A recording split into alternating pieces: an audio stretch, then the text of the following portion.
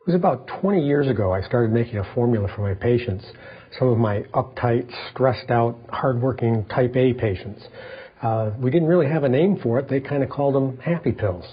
It was the basis of that formula that when we started Symmetry became Tranquility. Originally, I designed a formula around some traditional Chinese herbs, things that have been used for thousands of years to help calm down both the mind and the body.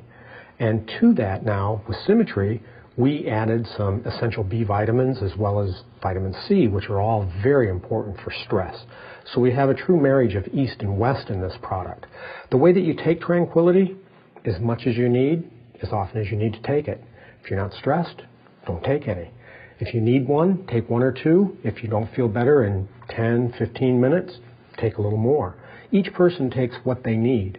It's also something that's suitable uh, for children. I've used it for years for kids with ADHD. It helps them calm down so that they can sit in their seats. I used to treat a lot of ADD and ADHD kids uh, when I was in practice in Battle Creek, and so this is a great formula for both adults and kids. Tranquility.